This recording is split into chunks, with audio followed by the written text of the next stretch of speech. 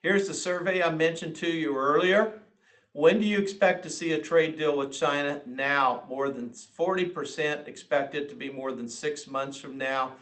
Uh, 22% expected to be three to six months. Uh, 26% expected to be one to three months. Uh, only 12% expect to- something here in the next uh, 30 days. So more and more of you are getting discouraged by, by what's happening uh, and think it's going to be a long haul. And I agree with you. Uh, which story is the biggest in ag for 2019?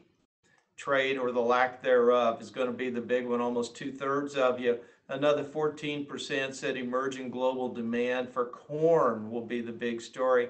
17% said African swine fever.